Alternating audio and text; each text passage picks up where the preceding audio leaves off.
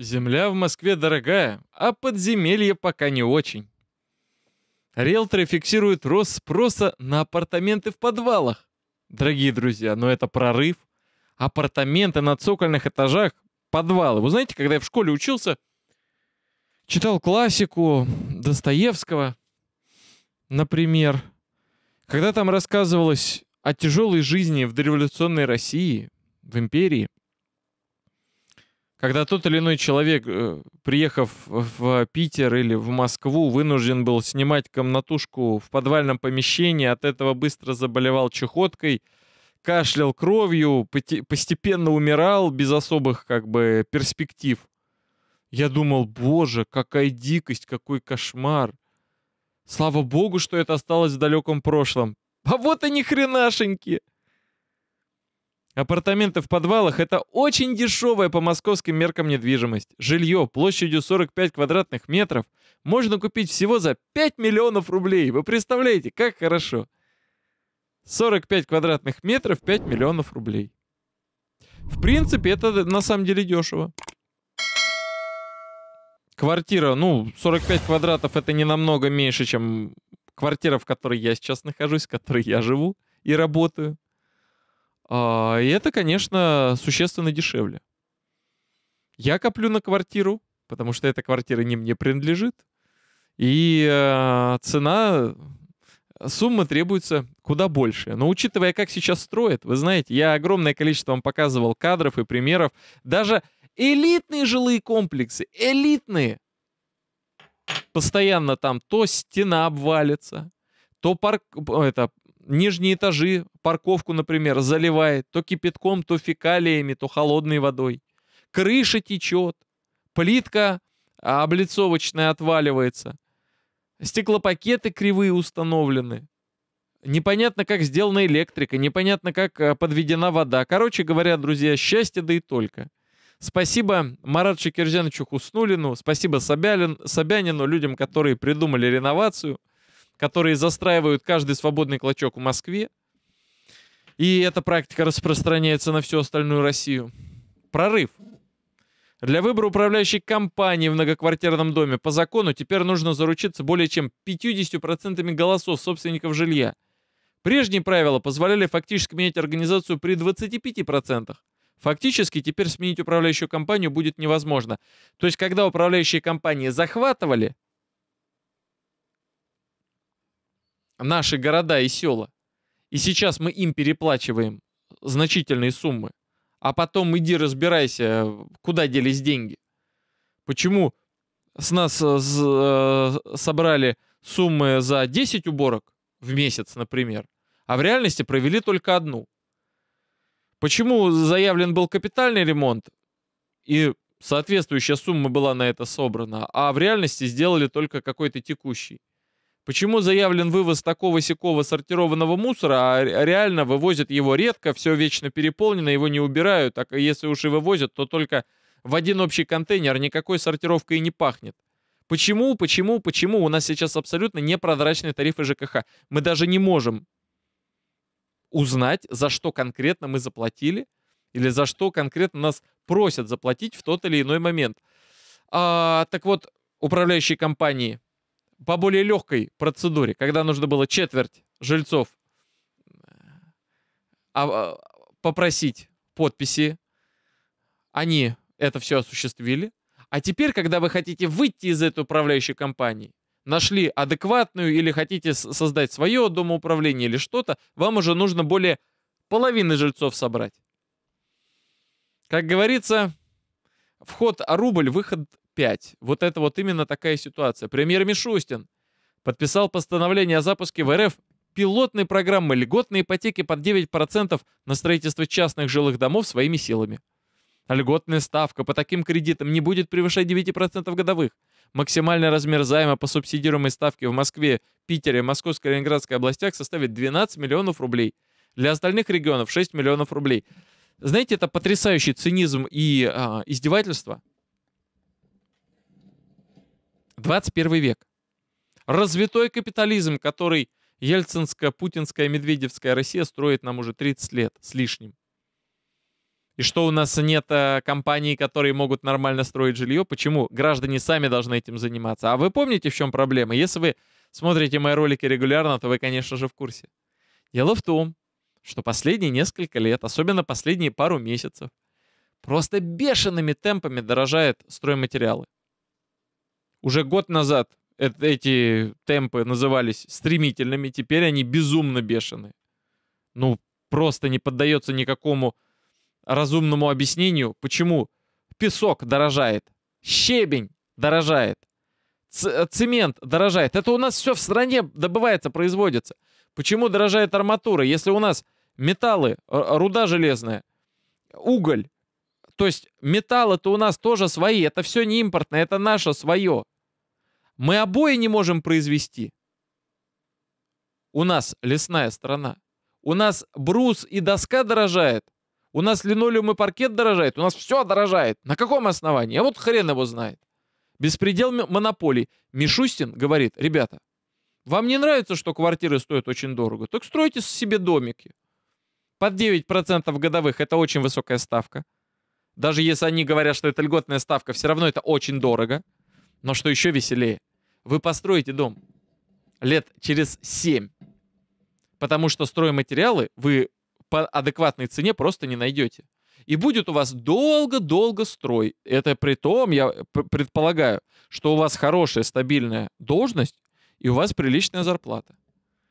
В Москве стартует новый проект по модульному домостроительству. С экспериментального конвейера уже в этом году начнут сходить готовые квартиры площадью до 100 квадратных метров.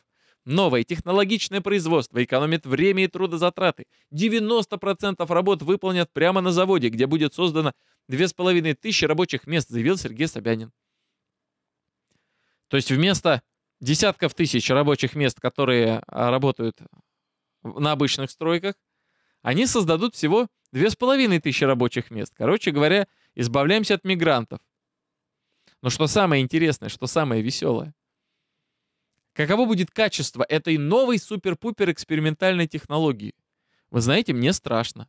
Они по обычной-то технологии строить не могут. А тут имеется в виду, есть некий гигантский конвейер, где свариваются, свариваются конструкции, прям целая квартира. А потом квартира на квартиру собирается как конструктор, и получается дом. Я надеюсь, что... Я надеюсь, что в Москве останутся дома, построенные по обычным технологиям. А, и я хотя бы буду, покупая такую квартиру, знать, что она не развалится сегодня-завтра. Сотрудникам аэрофлота предписали вести строгий учет туалетной бумаги, салфеток и бумажных полотенец. Всю невскрытую продукцию будут отмечать и сдавать после приземления. Подтираемся экономно. Официальный документ, лист оперативной информации для кабинетных экипажей. Здесь замечательное предписание. Ребята, не дай бог, какие-то стюардессы или пилоты прихватят для личного пользования рулончик туалетной бумаги – Коррупция, воровство, грабеж. Ни в коем случае недопустимо. Я не знаю, как это, ну, вообще, без комментариев, просто без комментариев. Так, Россия может заместить импорт сурими для крабовых палочек продукции собственного производства. Фаршем из ментая, заявил глава Ассоциации добытчиков ментая Алексей Буглак. Буглак отметил, что этот продукт имеет огромный потенциал на внутреннем рынке. С рыбой у нас, конечно, вообще беда-печаль. У нас есть Балтика, Баренцево море, у нас есть Черное море, у нас есть Каспийское море, у нас есть Охотское море, у нас есть Японское море. Ну, короче, у нас страна окружена местами, зонами, где можно ловить рыбу в промышленных масштабах, просто не переставая. И, этим занимаются. И эта рыба идет куда? В Китай, в Японию, в Америку. Россияне должны переплачивать. Никакого разумного протекционизма, никакой заботы о качестве питания для а, граждан России не предусмотрено в этой системе. Ну и что самое забавное, самое веселое. Слушайте, я подумать не мог, что наши крабовые палочки, понятно, что они сделаны из рыбы, они дел, делаются не из крабов, это я знаю, не, это, тут все нормально. Но, слушайте, то, что мы импортировали рыбу, чтобы делать крабовые палочки, учитывая, сколько мы сами добываем рыбу, сколько мы ее отправляем на экспорт, это что-то с чем-то. Друзья, не забывайте ставить лайки, писать комментарии, делать репосты, подписываться на наш канал. Здесь самый объективный обзор того, что в стране происходит. Ой ты, господи. Да. Рентабельность многих ресторанов России на сегодняшний день нулевая. Себестоимость бизнеса выросла на 30%, сказал РИА Новости вице-президент Федерации рестораторов и ательеров России Миронов. Надо четко понимать, что зона развлечений, кинотеатры, рестораны, обычные театры, а, огромное количество магазинов, все кроме самого эконом-сегмента. Все это сейчас попадает под серьезнейшие финансовые трудности. Компании будут закрываться. Вы скажете, ой, и без ресторанов проживем. Это рабочие места. Вы можете относиться к этому как угодно. Но думайте в первую очередь о тех людях, которые будут терять работу. То есть путинская Россия э, закрывала огромное количество предприятий и заводов. Они были приватизированы, раздербанены и в итоге закрылись. Люди поувольнялись. Люди э, э, искали другую работу, по специальности ничего не нашли, работают курьерами, официантами и так далее.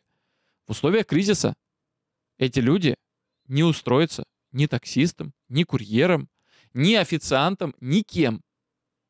Это огромная социально-экономическая проблема. Эти люди выйдут на протесты. Этим людям нужна наша поддержка и защита. Дело не в самих ресторанах. Дело в том, что закрытие промышленных предприятий, сокращение легкой, тяжелой, аграрной, там, пищевой, химической, фармацевтической промышленности, все это было под шумок, зато у нас теперь экономика услуг. Зато у нас теперь люди будут дизайнерами, менеджерами, ну или низшим э, обслуживающим персоналом. А теперь вот оно как повернулось. Нету денег в экономике. У людей денег нету, все экономят на чем только могут. И э, все, вся эта экономика услуг схлопывается. Коммерсант пишет, сейчас наблюдается нехватка и дороговизна импортных специализированных кормов для животных, за счет продажи которых розница формировала до 80% доходов. Западные компании отказываются работать с российскими ритейлерами из-за репутационных рисков. Более существенная проблема – возросшие издержки на доставку, что уже привело к росту цен на конечную продукцию на 50-100%. У ритейлеров сейчас проблемы с нехваткой оборотных средств, что не позволяет думать о развитии. В результате рынок товаров для животных сильно сузится и грозит закрытием торговых точек. Опять же, вопрос не в дорогих кормах для домашних животных. Вопрос в том, что люди – останутся вообще без средств существованию. И бизнесмены, много мелких бизнесменов э, служат, э, работают, в, держат э, крошечные зоомагазинчики, сами же в них и работают. Они тоже все потеряют. Российские птицеводы столкнулись со снижением спроса на курятину в том числе из-за закрытия ряда ресторанов и переориентированного спроса на свинину дешевого сегмента. Другая причина – стремление россиян экономить в условиях неопределенности. То есть, опять же, закрытие ресторанов приведет еще и к тому, что сельские аграрные предприятия будут испытывать нагрузку повышенную. В плане э, сталкиваются со снижением спроса. Соответственно, падает выручка, не с чего платить зарплаты. Будет сокращаться персонал. АвтоВАЗ после долгого простоя возобновила производство. Слава богу, хоть кто-то может похвастаться тем, что люди а, вернулись к работе, будут получать полную зарплату, а не две трети, как во время простоя это происходит. Лада Гранта стали собирать в упрощенном варианте, автомобиль лишился АБС, Эра ГЛОНАСС, подушек безопасности других систем, компоненты для которых в дефиците – Двигатель соответствует стандарту Евро-2, ранее ставили Евро-5, то есть выхлопные газы будут гораздо вреднее. Это наш а, ежедневный экономический обзор. Сейчас такая ситуация, что таких роликов реально стоит выпускать ежедневно. Пожалуйста, поддерживайте э, информацию, мою работу своей активностью. Подписывайтесь на э, каналы МПГУ Ленинского университета. Давайте порадуем Евгения Юрьевича Спицына. Подпишемся и на его канал. А, по возможности, у кого есть возможность, оказывайте финансовую поддержку а, тем, кто помогает беженцам и пострадавшим в ходе боевых действий, а также тем, кто выполняет воинский долг на передовой. Это, опять же, ссылки под роликом. Это Иван Атраковский, полк Марго. Вместе мы сила, вместе мы обязательно победим. Умейте отличать пропаганду, выдернутые из общей картины факты и то, что происходит на самом деле. Всего доброго, до новых встреч.